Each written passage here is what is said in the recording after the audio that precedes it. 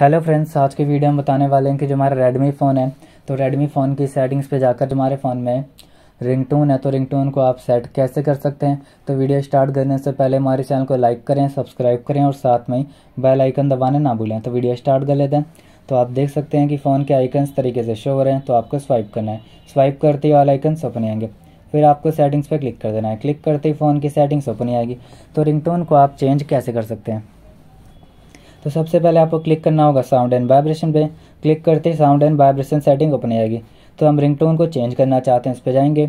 आप जो भी रिंगटोन चेंज करना चाहते हैं तो यहाँ से सॉरी अच्छा सेट करना चाहते हैं आप तो इस पर क्लिक करेंगे। और यहाँ से आप कोई भी एक रिंगटोन सेलेक्ट कर देंगे।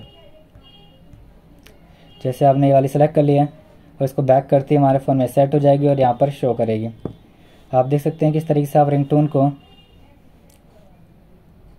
सेट कर सकते हैं रेडमी फ़ोन में। तो आपको वीडियो अच्छा लगता है लाइक करें सब्सक्राइब करें और साथ में ही बेल आइकन दबाना ना भूलें। और थैंक यू नेक्स्ट वीडियो के लिए इंतज़ार करें।